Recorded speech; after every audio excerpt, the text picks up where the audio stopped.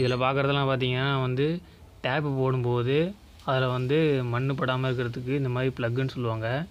இந்த மாதிரி ப்ளக்கு இல்லைனா டம்மின்னு சொல்லுவாங்க. இது வந்து முக்கால் சைஸ்லேயும் இருக்குது.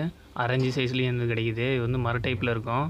இது வந்து பார்த்திங்கன்னா ஒரு வாசர் இருக்கும் இது எதுக்குன்னா வாட்டர் லைன் கனெக்ஷன் நம்ம வந்து கொடுத்துரும்போது இது வந்து தண்ணி வந்து லீக் ஆகாமல் இருக்கும்.